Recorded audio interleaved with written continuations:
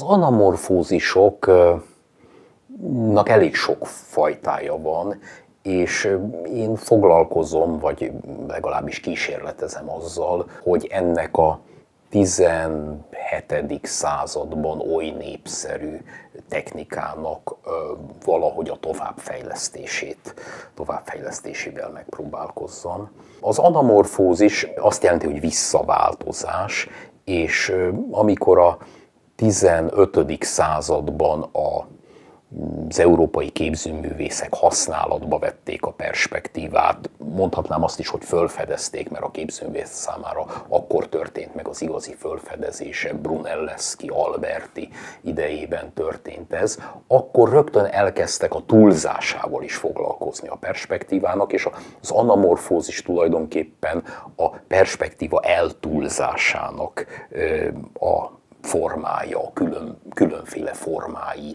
ennek az eltúlzásnak, annyira eltúloznak egy ábrázolatot, hogy az már fölismerhetetlenné válik, és csak akkor kódolható vissza hogyha valamilyen segédeszközt vesznek igénybe. Ez a segédeszköz ez általában egy tükörtárgy, olykor sík tükör, de inkább valamiféle görbe tükör, leginkább tükörhengerrel szoktak operálni az anamorfózis mesterei.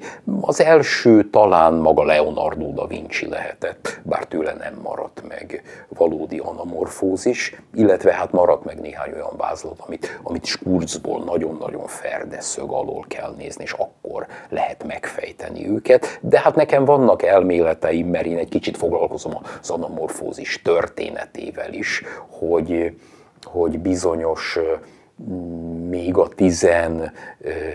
században létező Leonardo munkák más művészek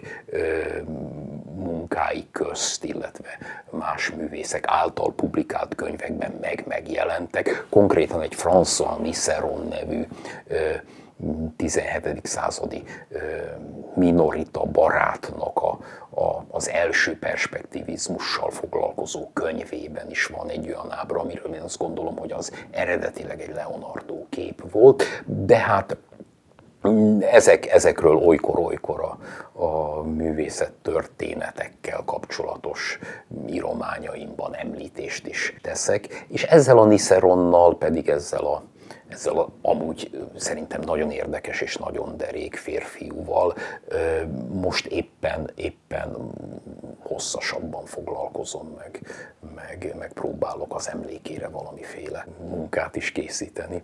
Az anamorfózisokban, ha az anamorfózisok továbbfejlesztéséről beszélek, akkor leginkább a kettős jelentésű képekkel való, való összehozás ami, ami, ami izgalmas lehet, ugyanis a régiek úgy csinálták ezeket az anamorfózisokat, hogy, hogy eltorzítottak egy dolgot, ami felismerhetetlen lett, rátették a tükörhengert, vagy azt a furcsa tükörtárgyat, és újra felismerhetővé vált.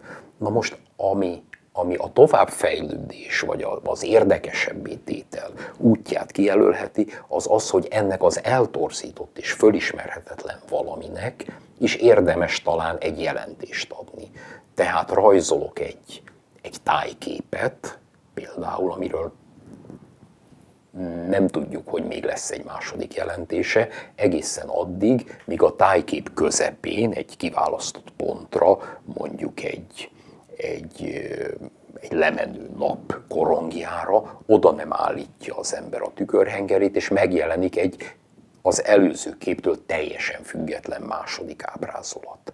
Az a Shakespeare-i színházat ábrázoló kép is egy olyan, ami szemből egy Shakespeare-i színház látszik, a Globe színház vagy a Swan színház nézhetett ki így valamikor az 1600-as évek elején, és hogyha, hogyha oldalt nézzük, skurzból nézzük, akkor pedig egy Shakespeare portré jön össze. Ilyeneket az én Diszeron barátom még nem csinált, talán eszébe sem jutott, de úgy gondolom, hogy ez egy érdekes, érdekes továbblépés lehet.